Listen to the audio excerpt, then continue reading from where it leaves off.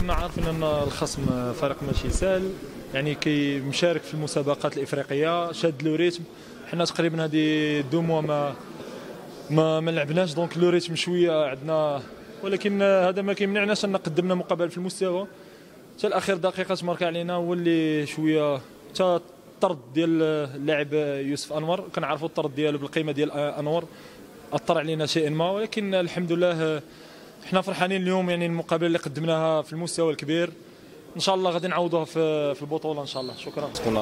un très grand match Je pense qu'on méritait la victoire. Malheureusement, euh, on s'est fait surprendre sur les phases arrêtées. On savait que Berken était très fort sur les phases arrêtées.